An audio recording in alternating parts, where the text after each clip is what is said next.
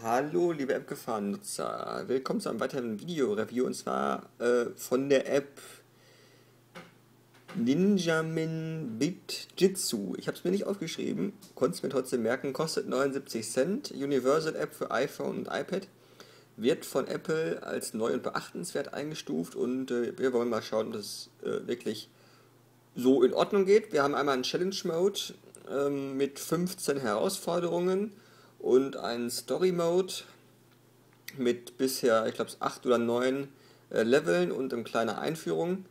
Es geht darum, im richtigen Moment die richtigen Tasten zu treffen, damit das Ganze eine vernünftige Musik ergibt und man sich möglichst sicher durch das Level bewegt. Um euch das mal ein bisschen näher zu bringen, schalte ich jetzt den Ton vom iPad ein und sage nichts mehr äh, und drücke einfach ein bisschen rum. Ich muss mich auch konzentrieren, denn es ist richtig schwierig.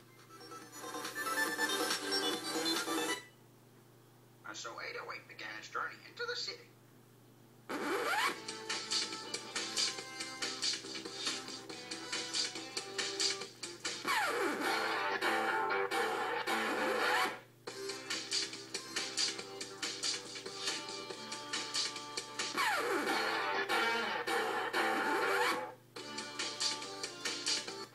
Ups, da sieht man schon, wenn man daneben drückt, dann passiert sowas. Wir fangen mal von vorne an.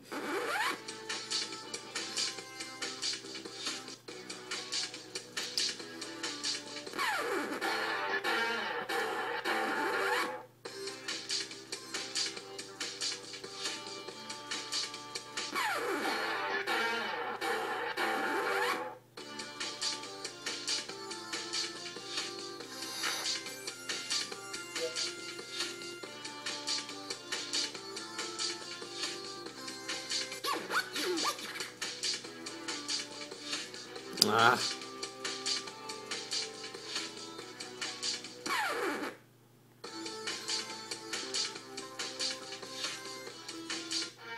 Ups.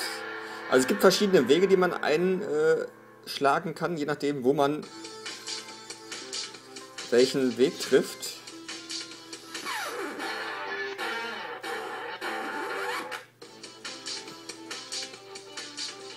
Uh.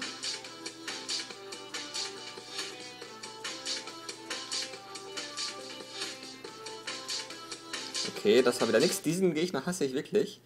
Ähm, man kann ihn auch irgendwie umgehen. Ah, so wäre es nicht gewesen. Wir versuchen es nochmal.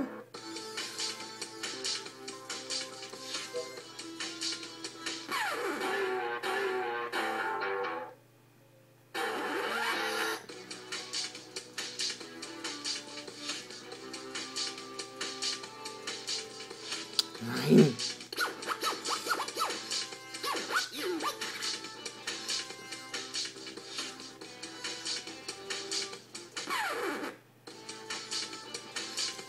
Ich weiß jetzt nicht, was ich falsch gemacht habe.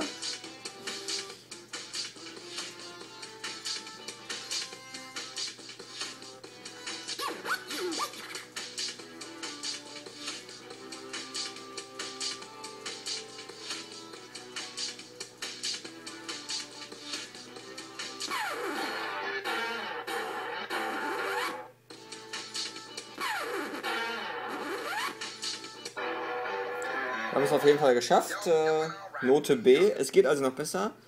Äh, wenn man mehr Punkte sammelt, kriegt man natürlich auch eine bessere Endbenotung. Die Zeit ist ausschlaggebend und es gibt äh, drei ja, Schätze, die man irgendwo finden kann.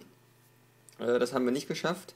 Auf jeden Fall ist dieses Spiel Ninjamin Bijitsu für 79 Cent durchaus eine nette Geschichte. Wer auf solche Tap-Tap-Spiele steht, wo man zum richtigen Moment auf die richtige Taste drücken muss. Es kann später ein bisschen frustrierender werden, das sieht man schon im ersten Level. Aber äh, ja, wer Spaß an sowas hat, kann hier auf jeden Fall mit reinem Gewissen zuschlagen.